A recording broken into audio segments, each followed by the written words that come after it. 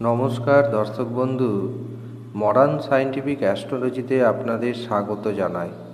আজকে আমি আপনাদের যে বিষয়টি জানাতে চলেছি, সেটি হচ্ছে তুলো রাশির ঢাইয়া সম্পর্কে।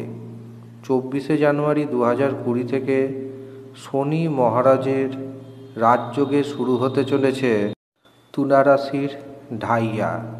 এই ঢাইয়া তুলা রাশির জাতক জাতিকাদের জীবনে কিছু কিছু ক্ষেত্রে সুপ্রভাব আনবে আর কিছু কিছু ক্ষেত্রে কুপ্রভাব আনবে।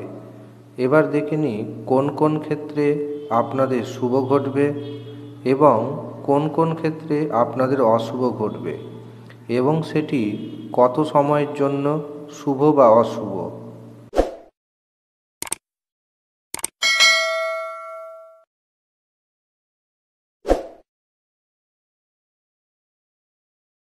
প্রথমেই আপনাদের জানিয়ে রাখি তুলো রাশি শুক্রর ঘর এবং তুলো রাশির যে ঢাইয়া শুরু হচ্ছে, অর্থাৎ এটি হচ্ছে শনির ঢাইয়া। শনির সাথে শুক্র গ্রহের সম্পর্ক খুবই সুন্দর। এছাড়াও তুলা রাশির রাজ্যকারী গ্রহ হচ্ছে শনিদেব। কাজেই যতই ঢাইয়া শুরু হোক না কেন, আপনাদের খুব একটা চিন্তা হওয়ার দরকার নেই। কেননা শনি যেহেতু শুক্রর সাথে ভালো সম্পর্ক রয়েছে, কাজেই এই সময় আপনাদের খুব একটা খারাপ যাবে না। আপনাদের দু হাজার কুড়ির চব্বিশে জানুয়ারির পর থেকে অর্থনৈতিক উপার্জন ধীরে ধীরে বৃদ্ধি পাবে। ব্যবসার ক্ষেত্রে আপনাদের উপার্জন বৃদ্ধি পাবে। নতুন চাকরি হওয়ার সম্ভাবনা রয়েছে।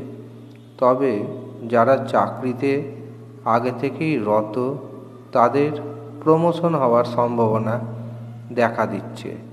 এই সময় যদি তুলা রাশির জাতক জাতিকারা ভাবেন বিবাহ বন্ধনে আবদ্ধ হবেন, তবে অবশ্যই জটক বিচার করুন।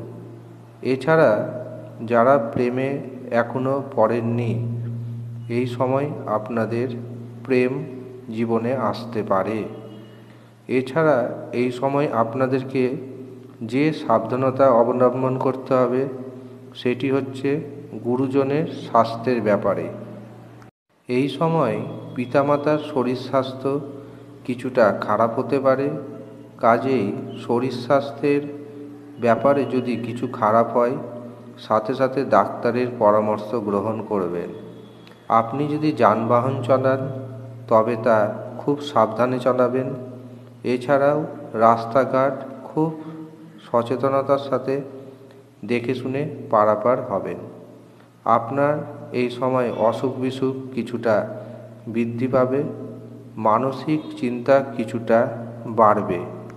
এই সময় তুলারাশিক জাতক জাতিকাদের ছোটোখাটো অপারেশন হওয়ার সম্ভাবনা কিন্তু রয়েছে। এছাড়া খাবার দাওয়ারে আপনারা অনিয়ম করবেন না, সময় মতো খাওয়া দাওয়া অবশ্যই করার চেষ্টা করুন।